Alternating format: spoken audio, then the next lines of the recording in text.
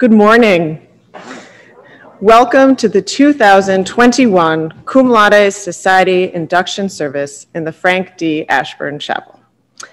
Let us remember that at Brooks School, we live and learn on land once of the Pennacook people, and we acknowledge their enduring presence.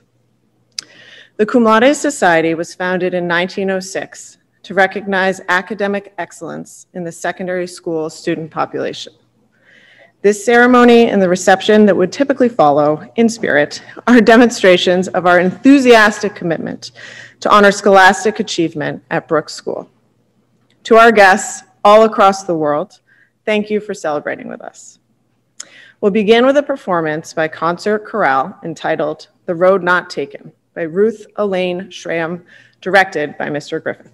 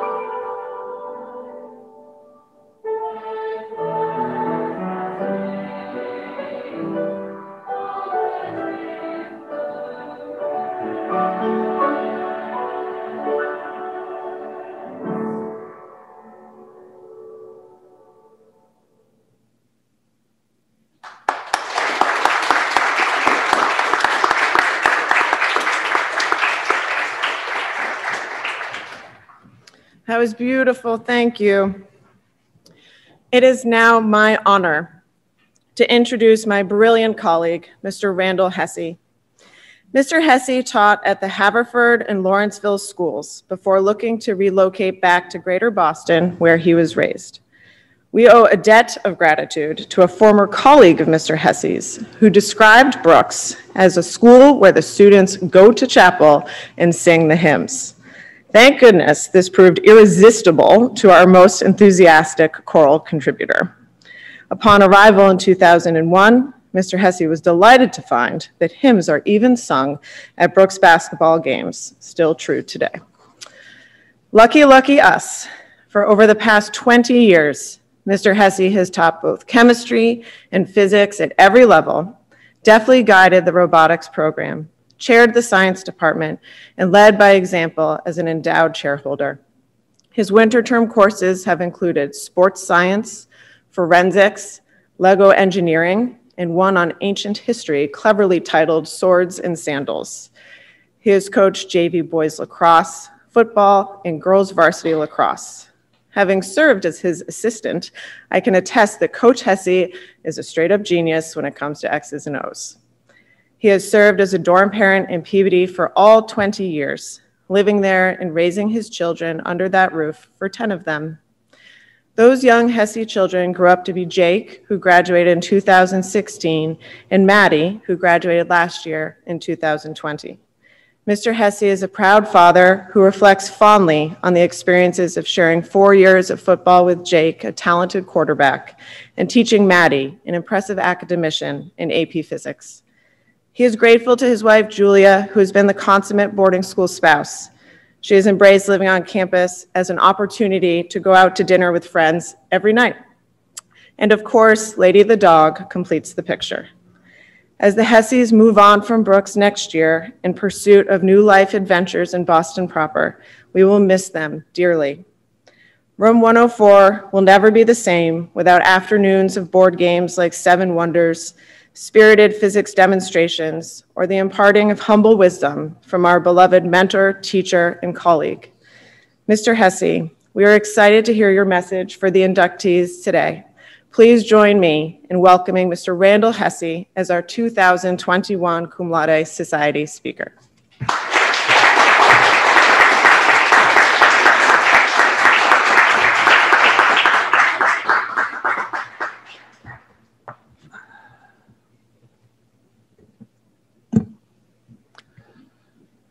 Every time it happens, I find myself wondering if the other drivers realize what's going on inside my car.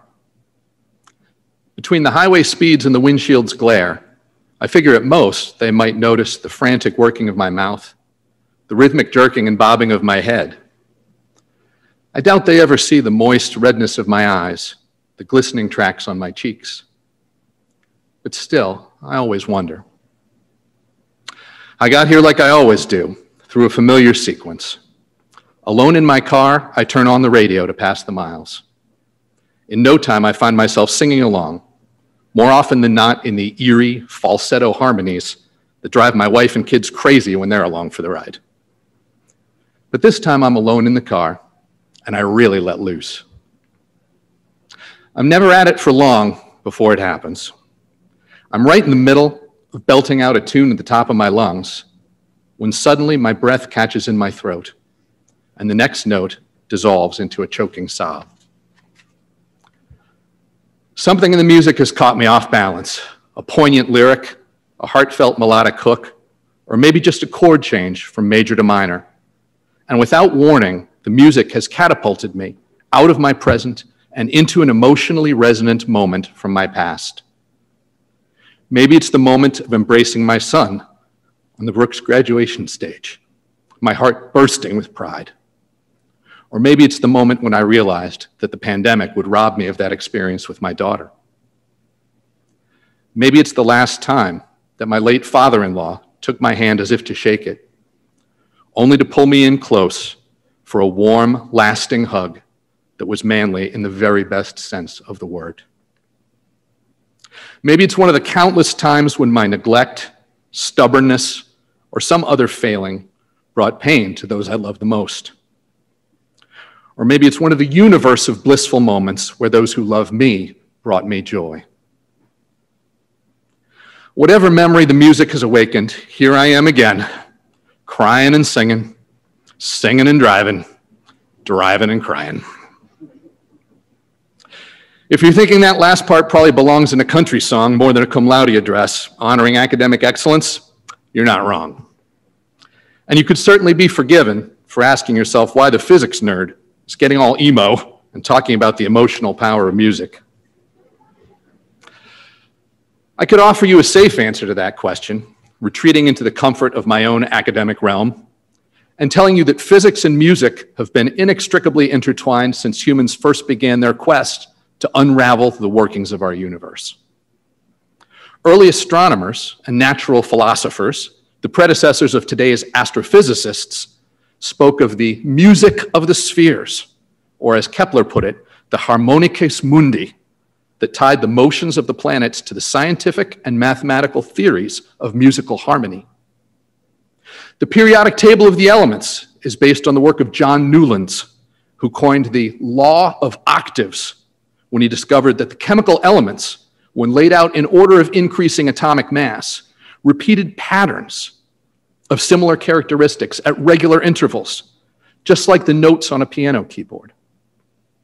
The arcane science of quantum physics stems from an understanding that electrons are locked into a fixed number of wave like states that bear an uncanny resemblance to the patterns of frequencies, of harmonics and overtones that give a vibrating guitar string or a saxophone reed its unique sonic color.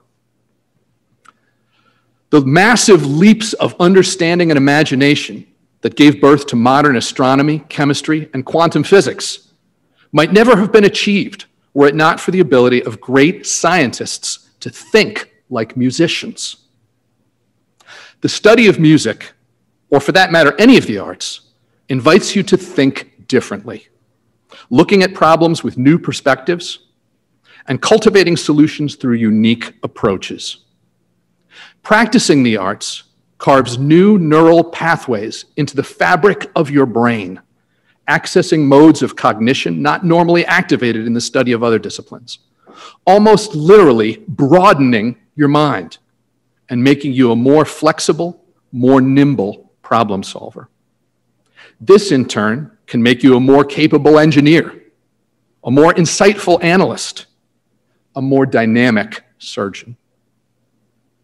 Now, in speaking to those assembled in the chapel today about the value of arts, I understand that I'm probably preaching to the choir.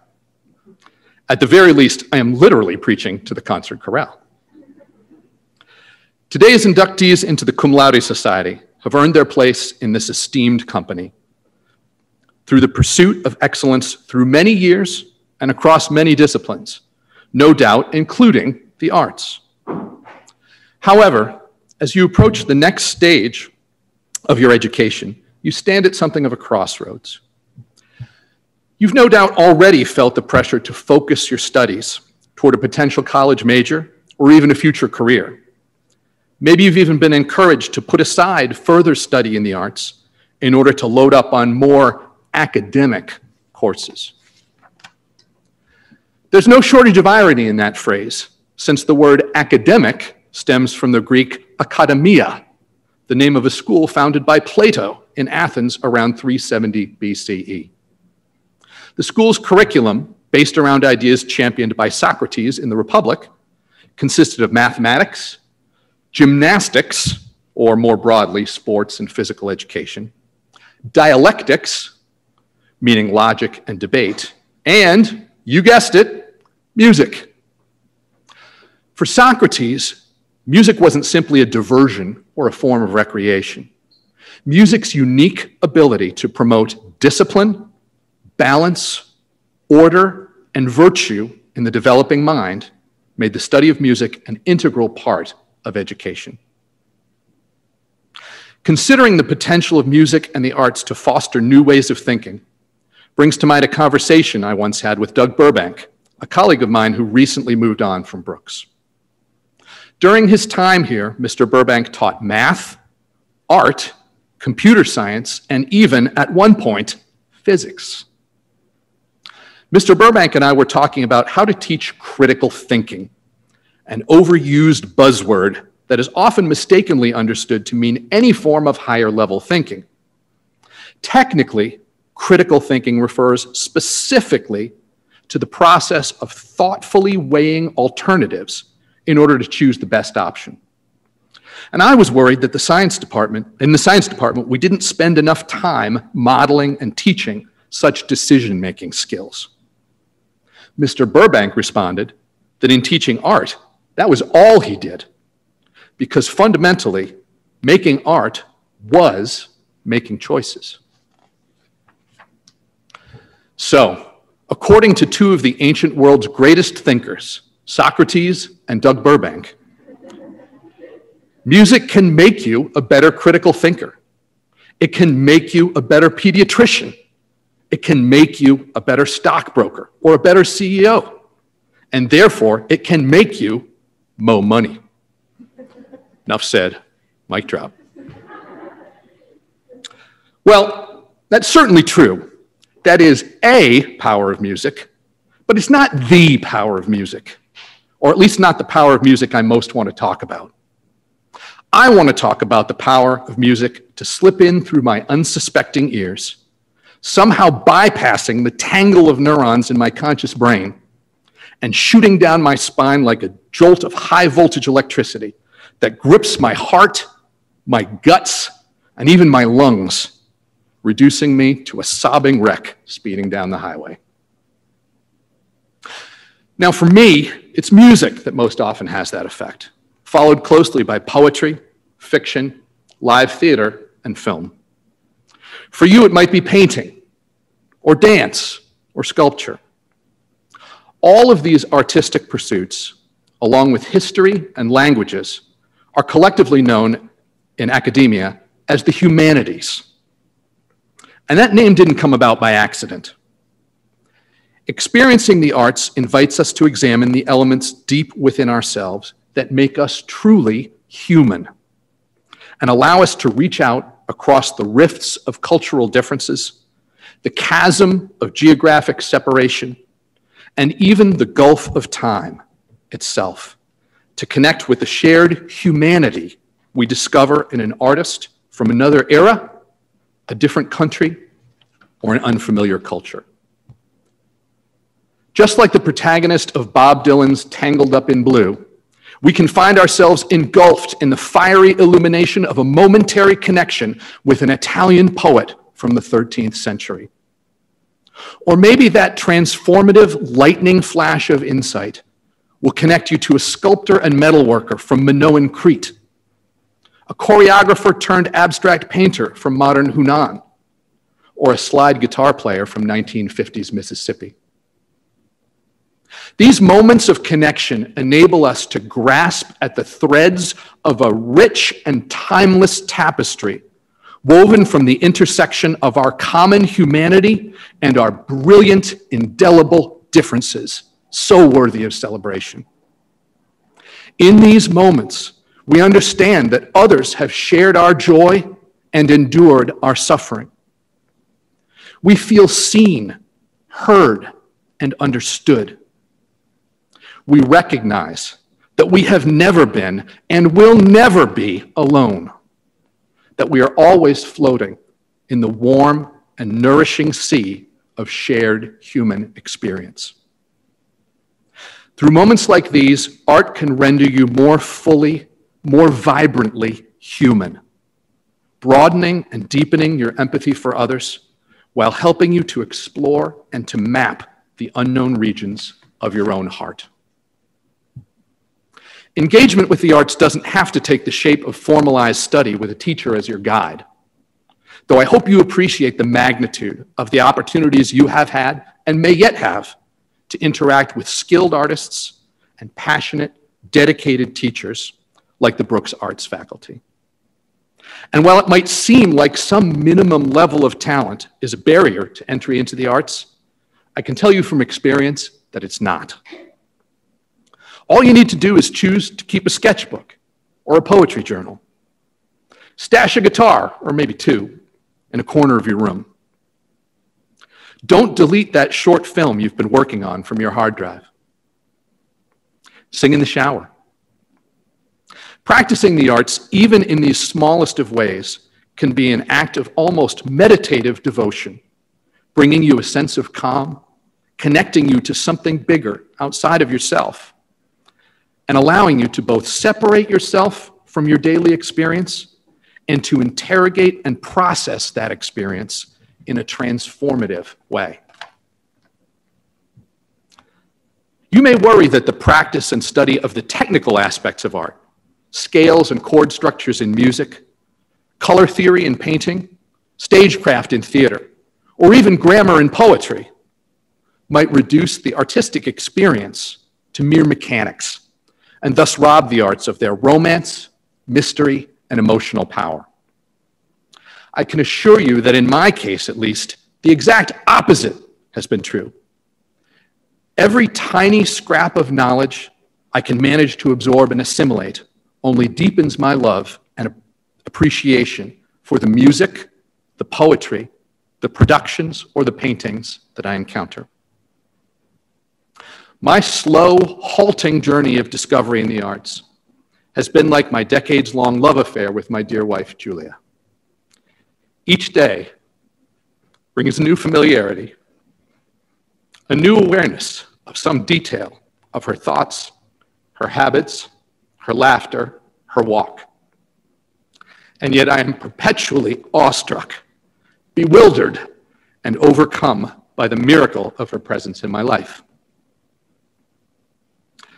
Just like any relationship, getting to know the arts can be work. But my friends, I can tell you that work pays off. Before I conclude, I hope you will indulge me in a bit of a digression. At this point in my career, it seems likely that the next chance I might have to fill a space like this with people I care about so deeply will be at my funeral. And I have a feeling they won't let me speak at that. So I'd like to take this opportunity to express my gratitude to the Brooks community. To my friends and colleagues on the Brooks faculty, you have challenged me, inspired me, supported me, and befriended me. Most importantly, you have partnered with my beloved wife and me in the raising of our two children. In your classrooms, on the playing fields, in your homes, and on the streets of this beautiful campus, you have guided them, encouraged them, disciplined them, and comforted them in ways that I never could. I hope you appreciate the value of the gifts that you have given me, gifts beyond reckoning that I could never repay. To all the students at Brooks, to those here now, and to those who have long since moved on, to those whom I, with whom I have lived, those whom I've taught and coached, and to all the others who have filled these fields and halls with your bountiful and indomitable spirit. For two decades, you have given my life shape and purpose. You have never refailed, you excuse me, you have never failed to repay my modest efforts tenfold with your passion, your determination, and your commitment. Your energy uplifts me. Your talents humble me. Your empathy and kindness make me proud to walk among you. Finally, to the great class of 2021. So many of you have touched my life during our years together by enlivening my classroom, by leading teams I've coached and dorms I've lived in, by sharing your talents with our community, or simply by exchanging friendly greetings with me. In the face of the immeasurable challenges of this pandemic year, our ongoing relationships have supplied the glimpses of normality that have sustained me. I owe you an incredible debt for the gifts of your humor, your wisdom, and your genuine caring and concern. Throughout our time together, you have slowly carved out a place in my heart where you will forever shine. So, if years from now you happen to pass me on the highway, it won't be difficult. We old people drive slow. And through the windshield glare, you see my wide open mouth, my heaving chest, and maybe just the slightest glint of a tear. Perhaps this time, the music has brought me back to this perfect moment in this sacred place with you. Thank you.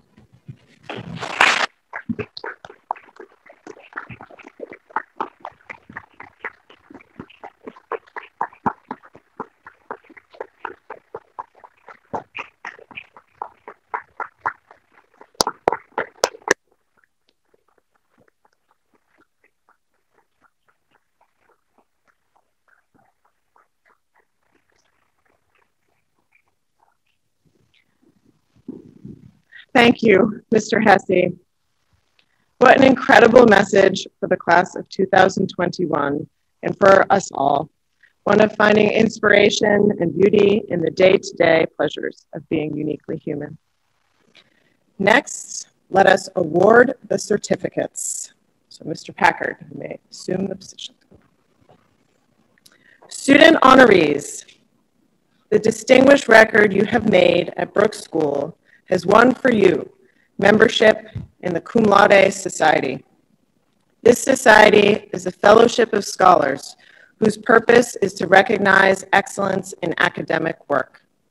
As you pursue your education, it is our hope that you will accept the honor of membership in this society as a responsibility to make a contribution to the ongoing search for greater understanding of humanity and society.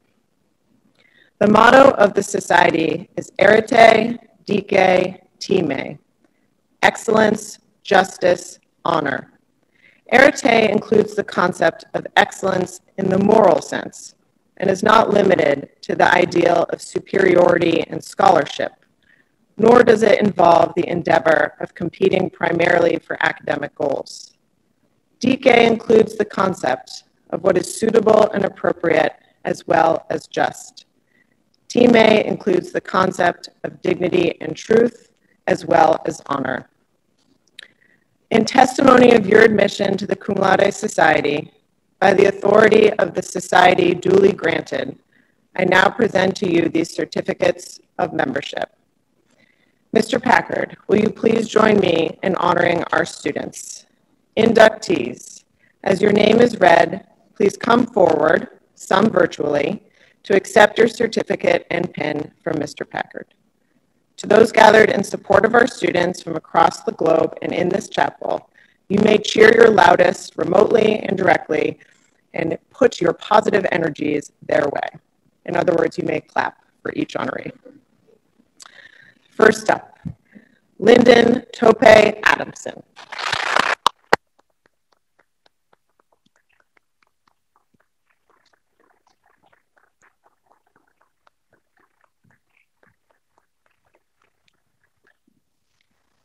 Abigail Sarah Charlam.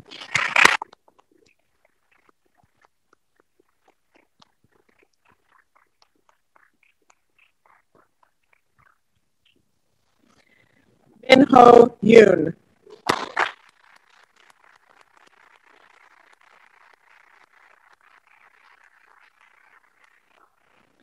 Emma Rose Fleischman.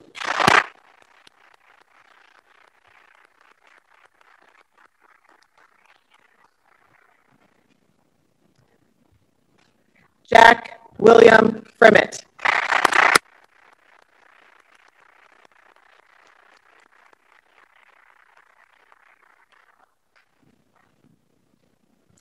Gabriella Grace Garozo.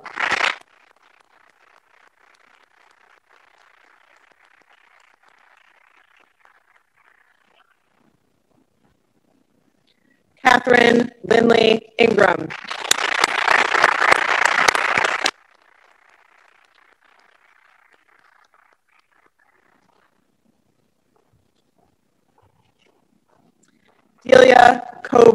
Johnson.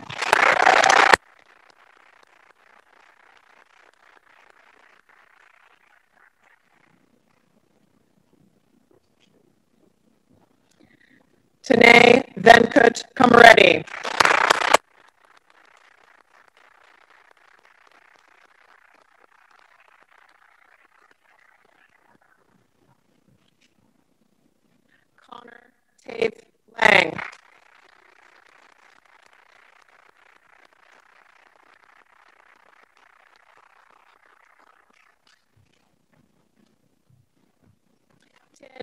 Yon Lau.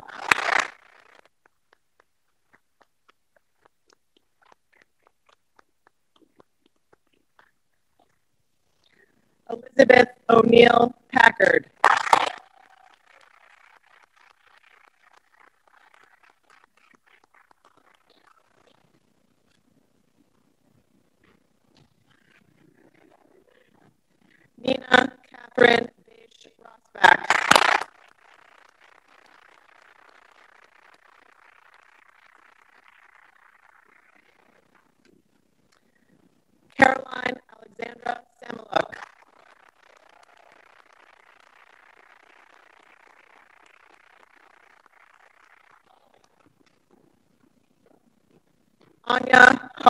Harsh Santrowala.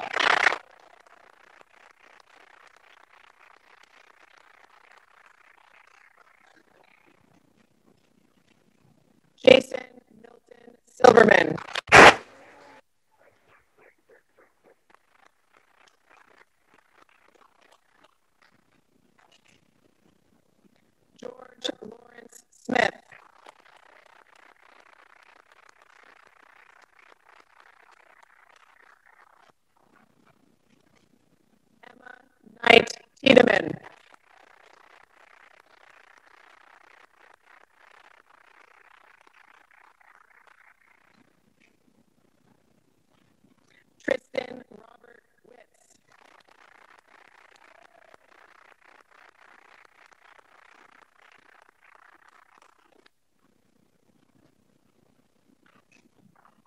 Xianyu Yang.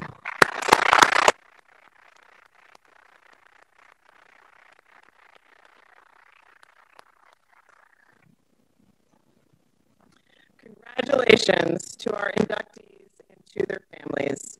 These students' dedication to their studies has not gone unnoticed. We will now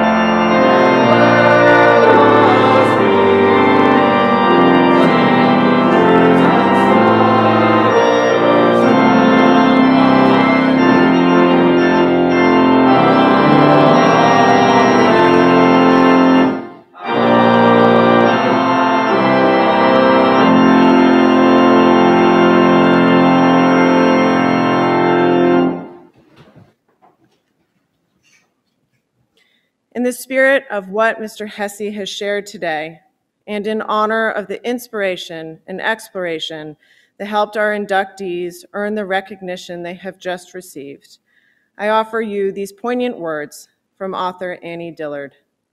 How we spend our days is, of course, how we spend our lives.